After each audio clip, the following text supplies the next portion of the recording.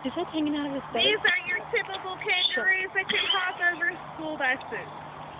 They're the ones that you're going to find in the desert.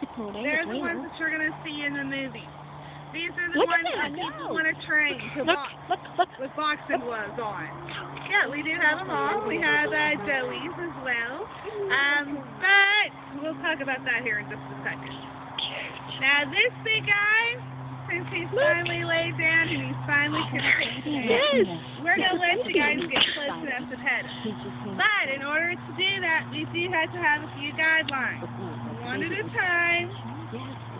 Like right in the very